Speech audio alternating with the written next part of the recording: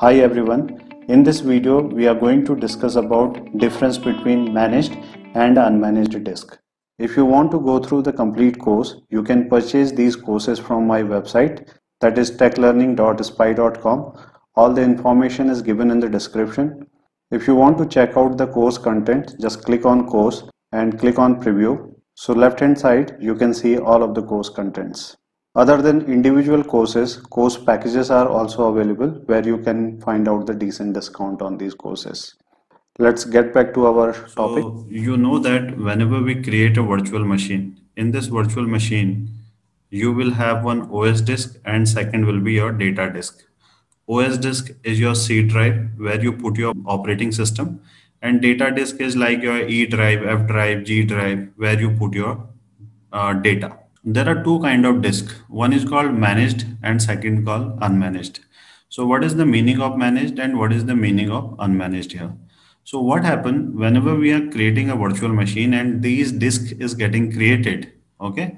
So somewhere they need to be created right? There should be some place where exactly they are created and when you are putting your data and on that location your data is going to be stored.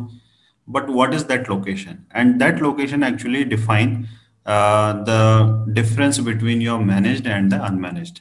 When we talk about the managed disk and uh, you are creating a virtual machine, your disk are getting created. Those disk actually created inside a storage account, which is managed by the Azure, managed storage account. So you do not have any control on those storage account, even that is not visible to you. Okay. So whenever you create disk, one storage account is there in the backend, which is managed by the Azure, and all of your disks are getting stored there. Is there any size limitation on that? No, there is no size limitation. You can create as many as disks you want here. Okay. So this is managed by the Azure. Now try to understand it from the Azure point of view. Azure is saying that I manage this one. This is my responsibility. So that is the reason Azure says that this is a managed disk. Second kind of disk, when you create a virtual machine, now you will be asked whether you need a managed or unmanaged. Suppose you select unmanaged disk. In that case, what will happen? One storage account will be created and that storage account managed by us, okay, not by Azure. Those storage account managed by us, inside that storage account, actually our disk are going to be stored, okay. So that is the reason these are called as unmanaged disk. From Azure point of view, Azure is saying that I'm not managing this disk. This is your responsibility to manage them. So that is the reason Azure is calling it unmanaged disk. Fine. So basically there are two type of disk here, managed and unmanaged. Managed, managed by Azure, managed storage account and unmanaged means managed by us.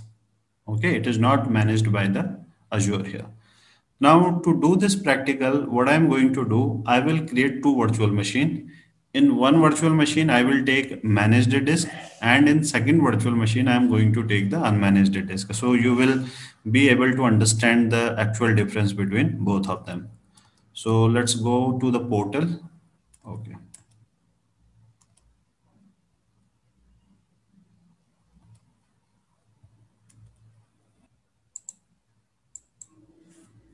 So this I will call as managed disk hyphen VM, a region, let's say central uh, US.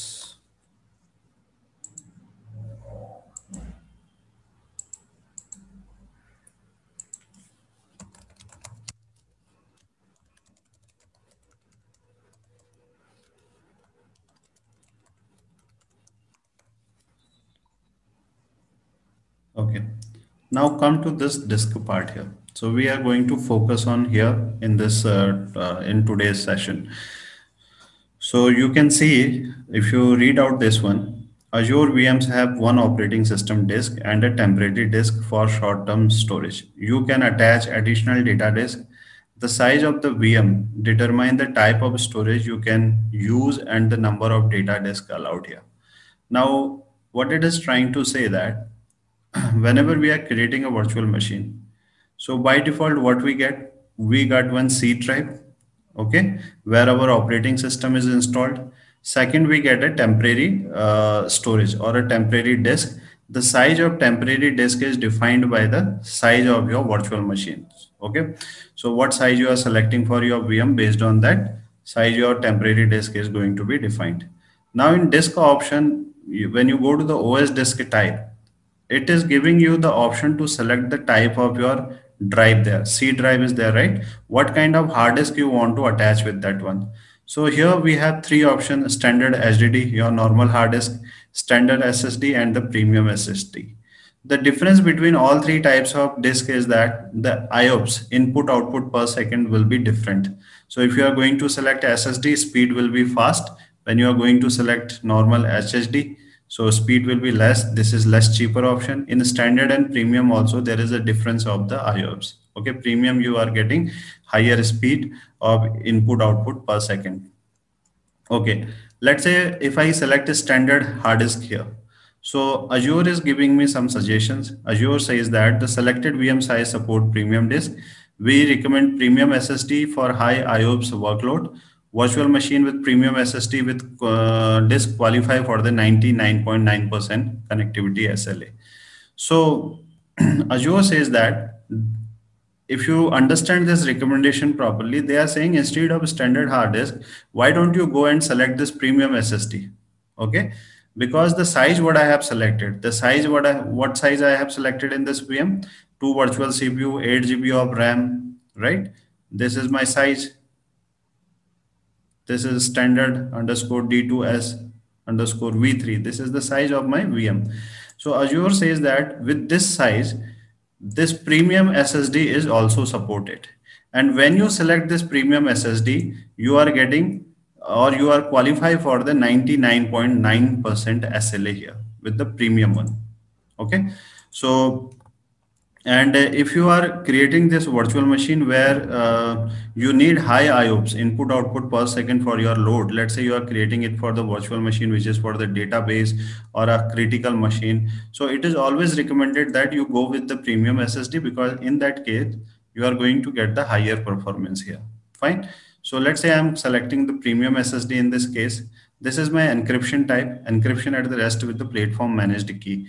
Means whatever data you are putting inside this C drive will be in encrypted form. Whenever we do the encryption, we need a key also. Okay. So this key is managed by the Azure itself, platform managed key. Who is your platform? Azure is your platform. So this key will be managed by the platform itself. Now, if you come to the data disk here, here you can read out, you can add and configure additional data disk for your virtual machine or attach existing virtual machine. So there are two options given here. One option is that you create a, um, disk, okay, and attach it here now only. Or if you have created any disk before, you can attach that also. Right now, let me skip this one. Okay, we will create this later, data disk.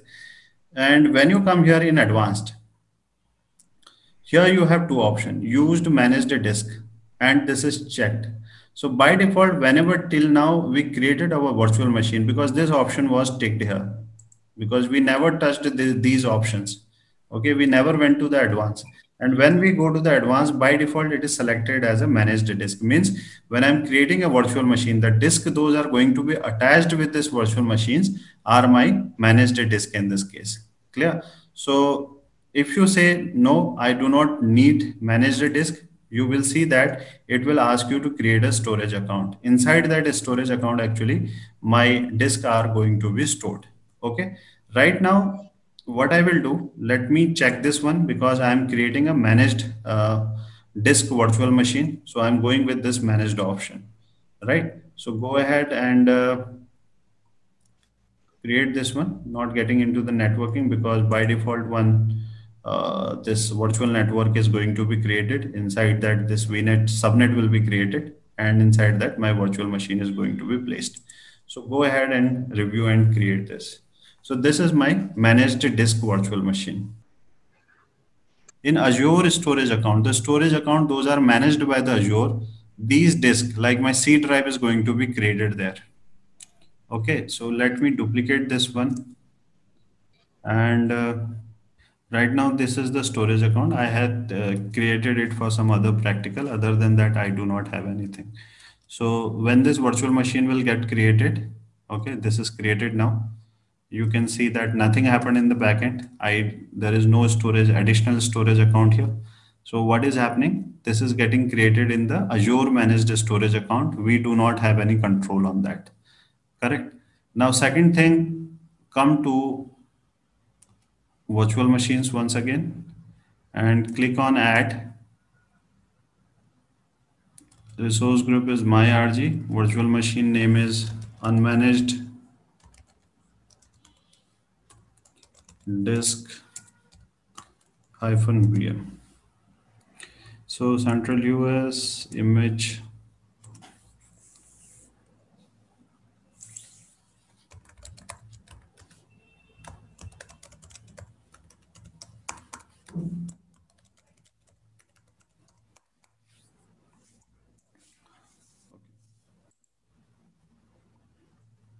Okay, so by default, this is set to premium SSD. Encryption is uh, set to encryption at rest with a platform managed key. And uh, click on advanced and let's set it to the unmanaged one. So as soon as I clicked on unmanaged, means I unchecked this managed disk, so automatically it become the unmanaged option. So one difference you can see here in case of managed, it is giving me option to create this data disk right now. Okay, these options are enabled. If you want to create a new data disk, you can create it now itself. But when you say unmanaged, read out this message. Adding unmanaged data disk is currently not supported at the time of VM creation. You can add them after the VM is created. Right now, you cannot add it in case of the unmanaged disk here.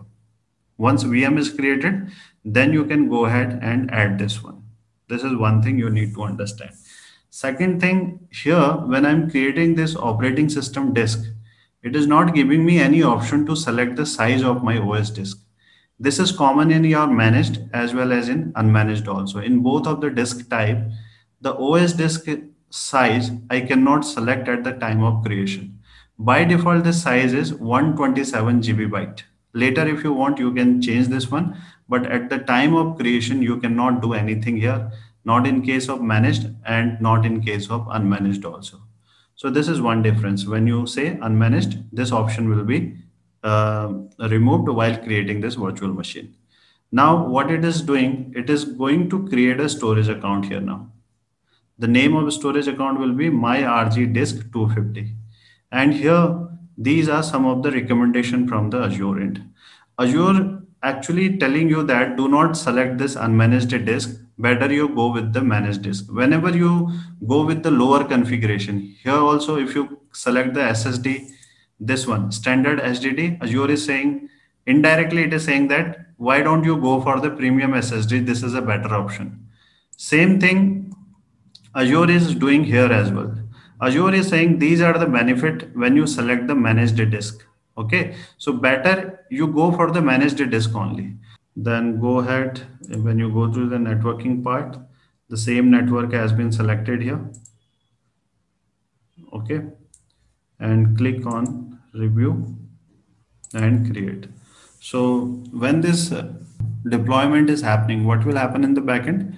First of all, one storage account is going to be created and uh, once a storage account is created inside that storage account my disk is going to be deployed. Okay? So it takes comparatively more time.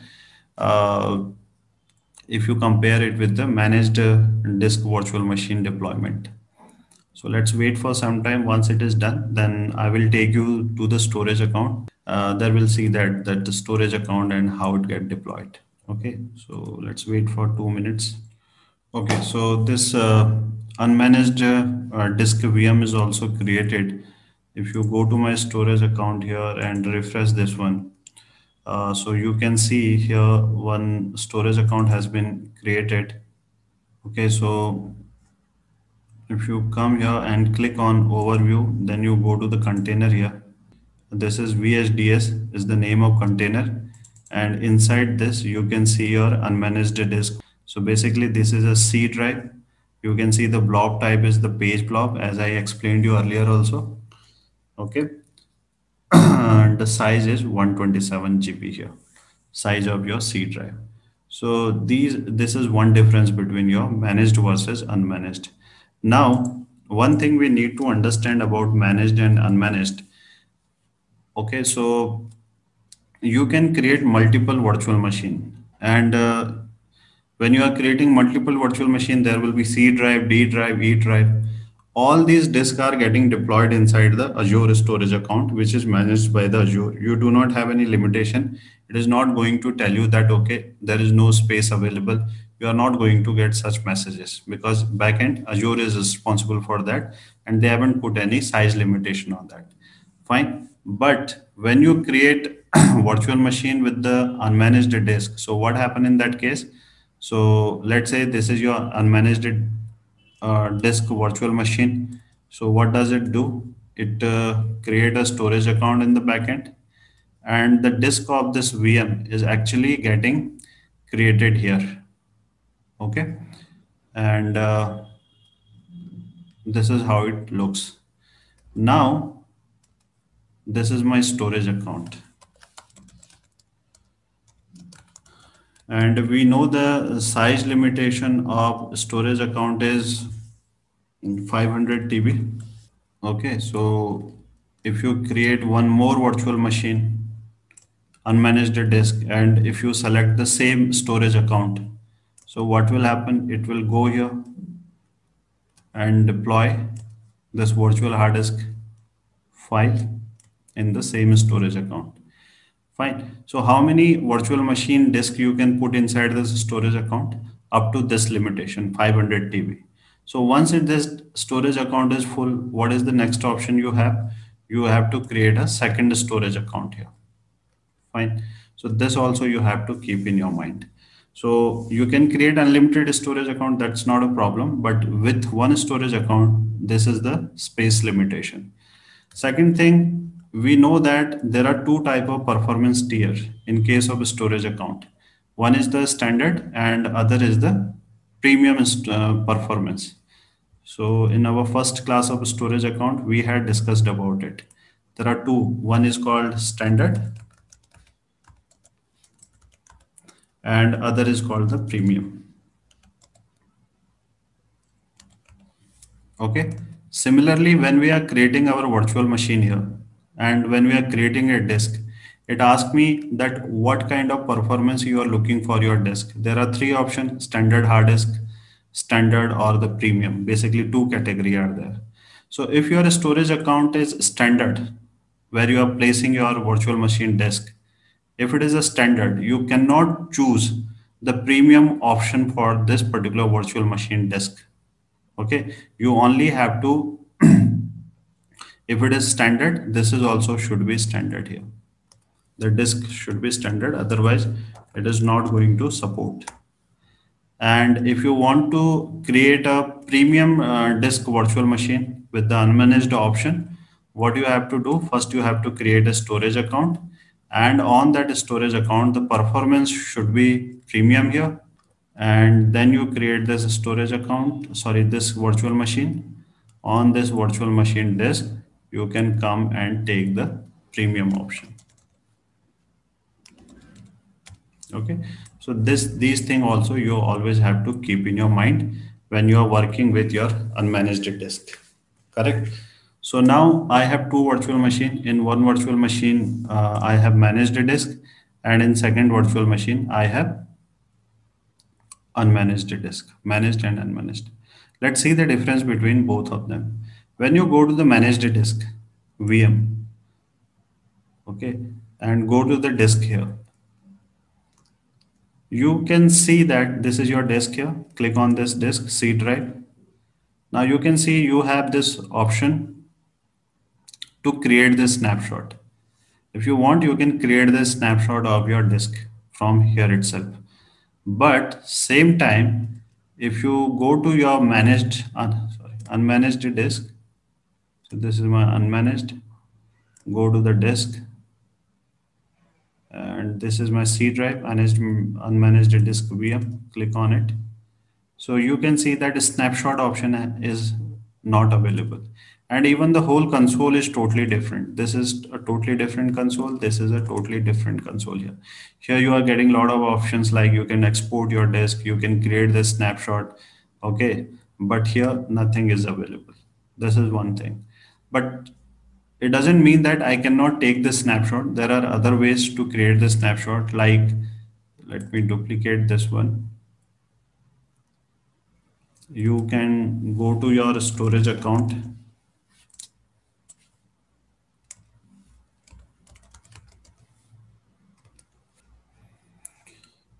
Okay in this container go to this container. In this container actually my disk is located right? This is my disk. So if you select this disk here I have option to create the snapshot. From your storage account you can create this snapshot. But directly at the console level you do not have this permission available. Okay? This is also one of the difference between both of them. And uh, other difference is that when you go to this VM managed disk VM okay you have this option called capture why we use this capture we use this capture button to take the image of my disk okay we had used uh, this option in our practical of uh, scale set, virtual machine scale set. Okay, this option is used to create an image of your virtual machine or image of your C drive. But same time, if you go to the unmanaged disk virtual machine, here you can see that this capture option is not available. It means you cannot take out the image out of this unmanaged disk VM. Okay, one thing. Second thing is that right now I have this is my managed and this is my unmanaged